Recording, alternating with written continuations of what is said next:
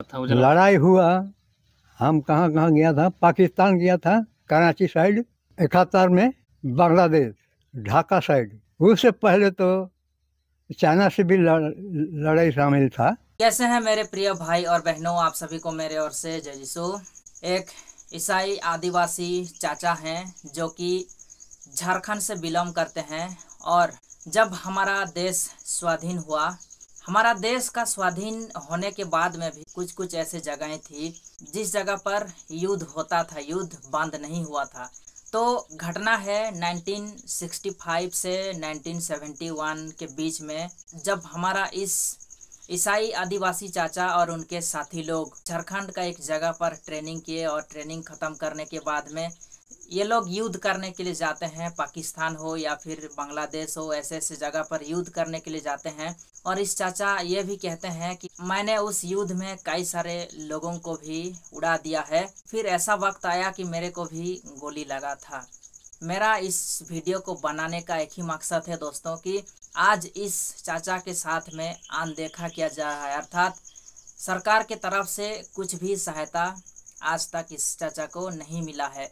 तो चलिए हम लोग इस वीडियो को अंत तक देखते हैं कि इस चाचा ने कैसे कैसे ज्वाइन किया और फिर कहाँ कहाँ लड़ाई करने के लिए गया, कैसे कैसे लोगों को उड़ाया, फिर कैसे घायल हुआ, फिर आज उसके साथ में क्या क्या बीत रहा है, वो सब कुछ हम लोग इस वीडियो को देखते हैं, फिर पता चलेगा दोस्तों।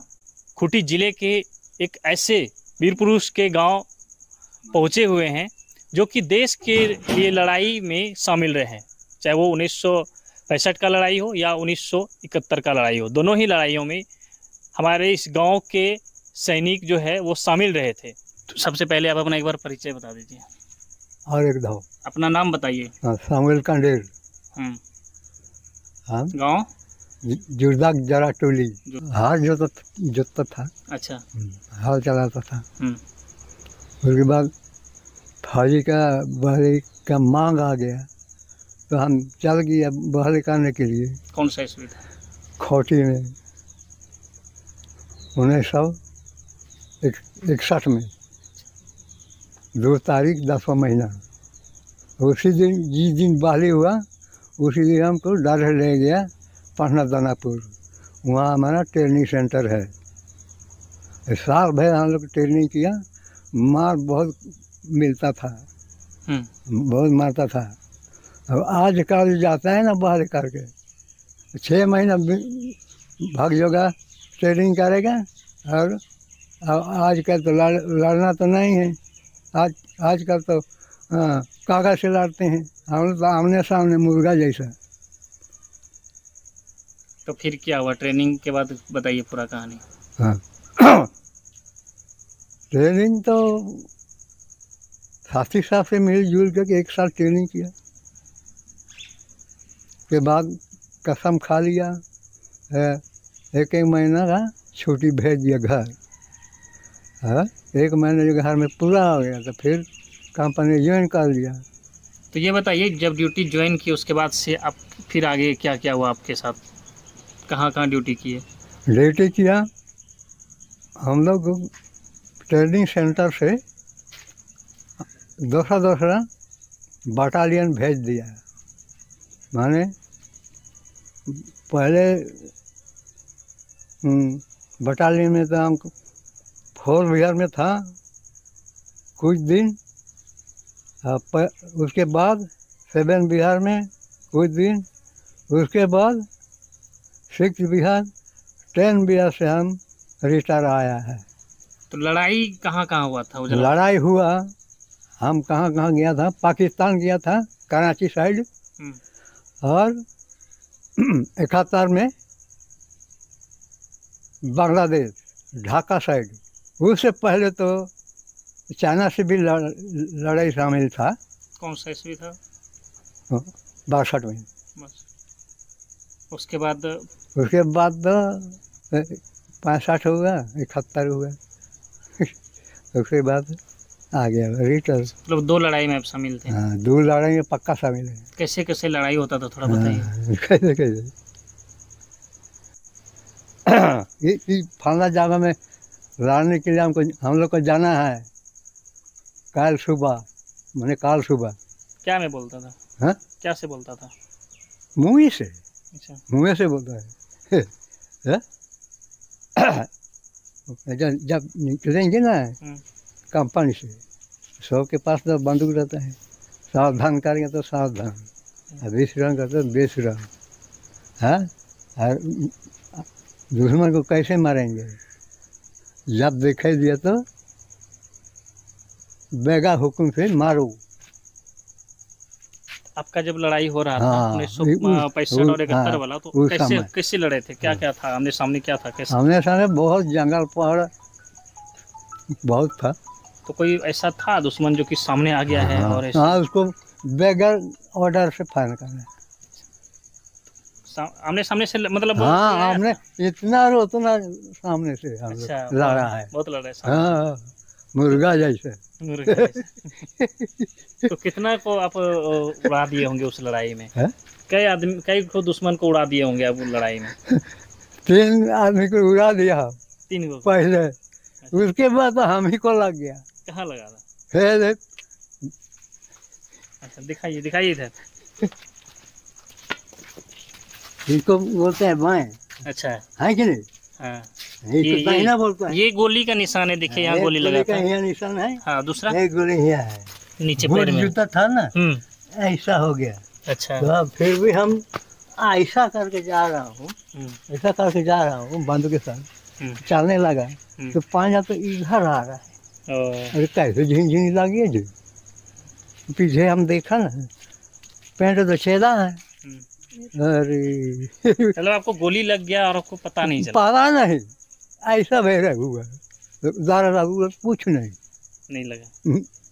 जब खून यहाँ तक भार गया ना बहुत जूते के साथ हम्म, पचास पचास चेपर चेपर लग रहे। हम्म।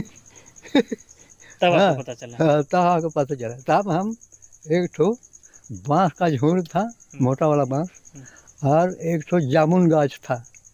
वहाँ पर हम ऐसा बैठ गया चुपचाप बैठ गया हम्म, बैठ करके ऐसा हुआ। हम्म, हाँ?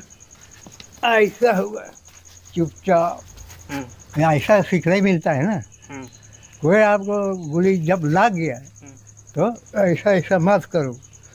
इधर ऐसा करो बंद के धारे रहो। हम्म। धारे रहो। नहीं तो उसमें और निश- निशान लगेगा और और फायर करेगा। अच्छा इतना आपको इतना कासा था बीता है ये नागालैंड। एक तो नाम है हिंदुस्तान का आखिरी स्टेशन सिलचर है। हम्म, है कि नहीं? है ना? हम्म, वहाँ से हवाई जहाज़ में हम लोग चढ़ गया दुश्मन को जमा करने के लिए कलकत्ता। डाकोटा में एक तो जहाज़ होता है ना डाकोटा ऐसा रहता है बीच में खाली खाली रहता है है कि नहीं? हम्म। तो फिर? सात आदमी था हम लोग एक तो, तो पिंटू से जो उड़ीसा वाला तीन गो हाँ, चाईबासा वाला हाँ। तीन दो आदमी रांची वाला। तो आप लोग सब हथियार लेके आए थे? हाँ हथियार लेके आया था। तो फिर- समय लड़ाई हो रहा था ना। हम्म। कोई रोक टोक नहीं। जिस होटल में घुसोगे ना साहब क्या खाएगा? बोलो ना दस नया पैसा के समय। हम्म,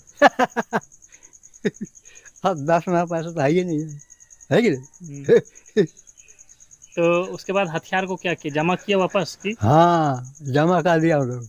हमारा नौकरी फिट हो गया। कहाँ जमा किए थे? आप अपना ये कंपनी में। अच्छा अपने हाँ। कंपनी तो कैसे? हम लोग पार्टी वराट में तो लेट नहीं था। ये आदमी का नाम फलना फालना छीलना और एक ठो हम लोग का अफसर था सेकंड लेफ्टिनेंट हाँ। उसके साथ कैद को जमा करने के लिए कलकत्ता आया। कलकत्ता किला में जमा कर दिया। उसके बाद साहब लोग खाना कहाँ खाएँगे? तो प्लेन का एरिया में या मैस में घुसा दिया। हाँ ये सबको खाना दीजिए ओढ़ना पीना भी दीजिए। हाँ तो उसको तो हम लोग को ना ही पूछा, हम लोग का साहब के। हम लोग आप कहाँ भेटे भेटाएँगे बोल करके? नहीं पूछा। सुबह खोजते हैं तो मिलता नहीं है। हाँ, तो उसके बाद आप लोग कहाँ के? उसके बाद तो हम लोग इधर आ गए। घर आ गए। तो आप लड़ाई लड़ चुके हैं देश के लिए। आपको सरकार के द्वारा क्या क्या मदद मिला है अभी तक? कुछ मदद नहीं मिला। हाथों मैंने पेंशन आने टाइम हम्म। छः हज़ार पैसा हाथों हाथ दिया। और कोई सामान नहीं दिया, और लोग को कंकर पटना पटना कंकर बाग में घायल वाला को जो मार गया, उस सबको घर मिला। हाँ मेरा साथी से को मिला तो देखने गया था, हमारा जो होगा बोल करके। तो हम हम लोग नामरे नहीं देखा। मेरा साथी का तो मिला, हमारा तो कुछ नहीं मिला, ना पैसा मिला सिर्फ़ मिला अपना ड्रेस। और कुछ और कुछ नहीं। और अब तक जैसे कि अभी तक कुछ नहीं। जिला प्रशासन द्वारा ऐसे लोगों को सम्मानित किया जाता है हाँ। मतलब 26 जनवरी 15 अगस्त में आपको कभी बुलाया गया है क्या? बुलाता है वो मोराबादी में मीटिंग करने के लिए। कौन बुलाता है वो? वो वो तो पूरा आप लोगों का साथी की सरकार के द्वारा नहीं सरकार सरकार। सरकार हम लोग का साथी नहीं बुलाता है। अच्छा। तो जिला में कभी सम्मानित किया गया है आपको क्या? खूंटी जिला में कभी 15 अगस्त या 26 जनवरी के दिन कभी स्टेज पे बुलाया है आपको? नहीं। नहीं बुलाया। ऐसे ही झोपड़ी नुमा घर ये टूटा फूटा किसी तरह से मिट्टी के दीवार को जो है बाहर से पेंट वेंट करके चमका दिया गया है। ऐसे लोगों को सरकार को चाहिए कि ऐसे लोगों को आ, आगे लाना चाहिए ऐसे लोगों को भरपूर मदद करनी चाहिए। तो आप सभी लोग देख पाए दोस्तों कि इस ईसाई आदिवासी चाचा ने अपने समय में अपना ज़िंदगी को दांव पे लगाकर हमारा देश के लिए लड़ाई किया और लड़ाई करते वक्त उसको ना जाने क्या क्या संघर्ष का सामना करना पड़ा होगा और और आप लोग देख भी पाए कि उसका पैर में गोली लगा था, फिर वो घायल भी हो गए थे। परमेश्वर का आशीष और कृपा से वो सुरक्षित रहे, उसको ऐसा कुछ ज़्यादा नुकसान नहीं हुआ और आज तक भी वो परमेश्वर की दया से जीवित हैं। लेकिन आप सभी लोग अच्छी तरह से जानते हैं दोस्तों कि इस ईसाई आदिवासी चाचा और उनके साथी लोग मिल के हमारा देश का सुरक्षा किए, उनका ज़िंदगी को दांव पे लगाकर। लेकिन आज सरकार ने उनको अनदेखा कर रहा है और आप लोग देख सकते हैं कि उसका परिस्थिति अभी कैसा है। तो मैं चाहता हूँ कि आप लोग इस वीडियो को ज़्यादा से ज़्यादा लोगों तक शेयर करो, ताकि लोग, ज़्यादा से ज़्यादा लोग इस वीडियो को देखें और सरकार तक इस वीडियो पहुँचे, ताकि सरकार कुछ सहायता करे, कुछ मदद करे, कुछ पेंशन के तौर पर इनको कुछ पैसा दें दोस्तों। तो चलिए फिर मिलते हैं नेक्स्ट वीडियो में। आज के लिए इतना ही। सभी को फिर से एक बार जय यीशु। धन्यवाद।